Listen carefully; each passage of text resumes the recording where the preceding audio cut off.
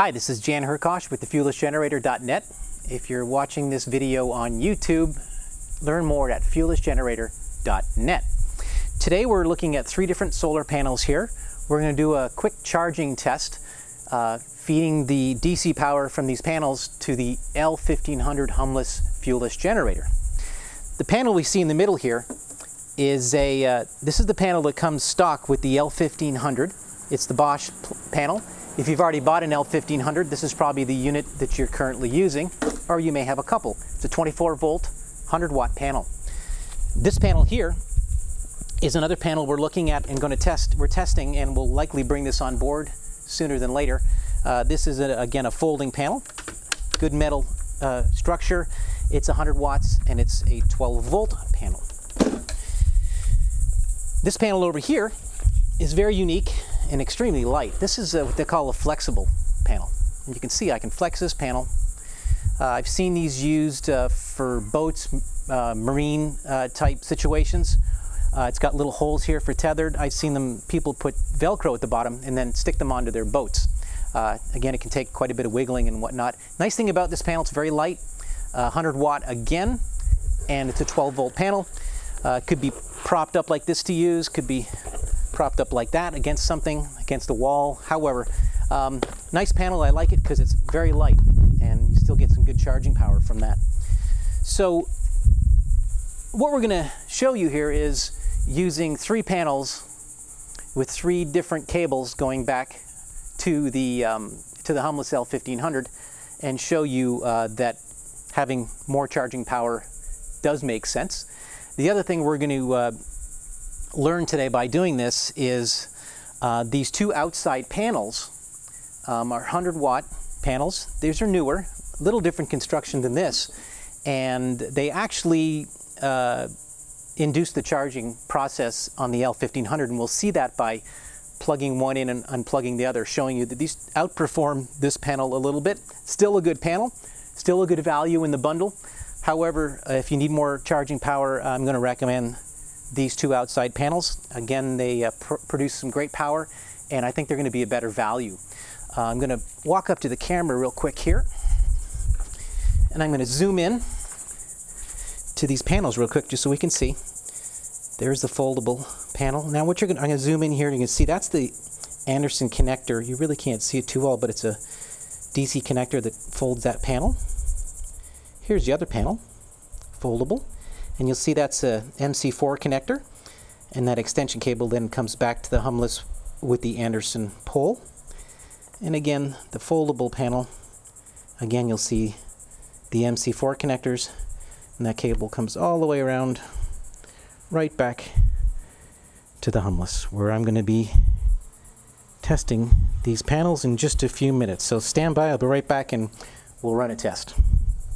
Okay, here we are. So we're going to um, do this uh, quick charging test. And the first thing we're going to do is I've got a cable here, and this cable is coming from the center panel, which is a 100 watt foldable Bosch. And this is the unit that comes with your Humless currently.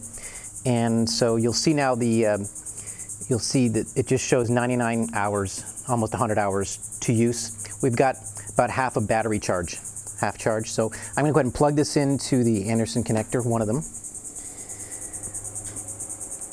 And now what we're going to see is with this one panel plugged in, it's going to take approximately 6 hours and 22 minutes to recharge the unit.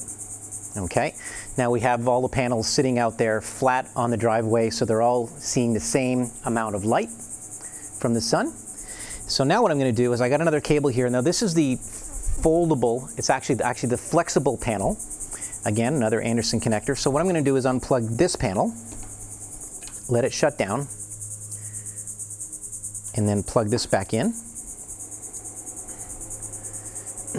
now what you're immediately going to see is the charge time is less by significant amount. So we've got now four, around five hours, four hours. It'll bounce back and forth till it kind of normalizes the input coming from the 100 watt flexible panel. So that's the little panel on the left hand side, an aftermarket product that we're going to carry. So you can see that the charge time is going to be faster, so it's producing a little bit more power. Now I've got another cable here which goes over to the black foldable panel, which again is an aftermarket product we're going to carry on a fuelless generator. And I'm going to unplug the flexible panel, wait for it to recharge back there, and then I'm going to plug this one in. And again, what you're going to see is a very, a very close to identical charge time. So the conclusion here is the two end panels, which are the aftermarket panels, 100 watt foldable and flexible panel, charge a bit quicker than the existing center panel, which is the Bosch.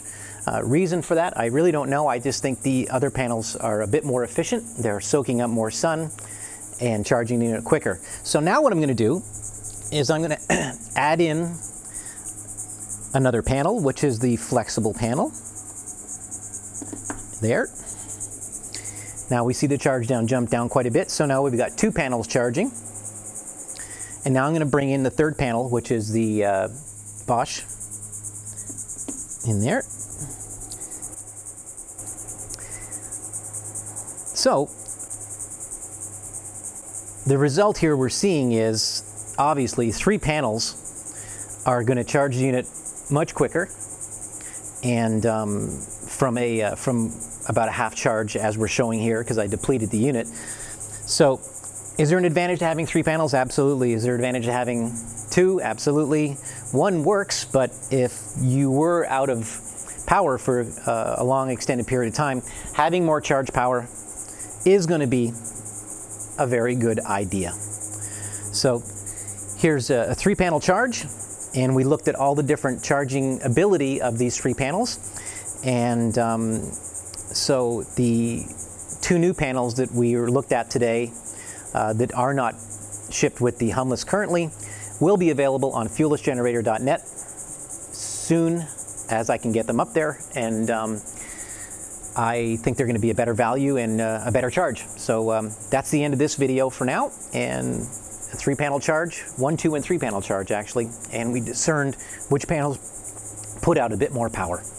All right, more information at fuellessgenerator.net. Again, Jan Hrkach, and we'll talk to you soon at another informative video.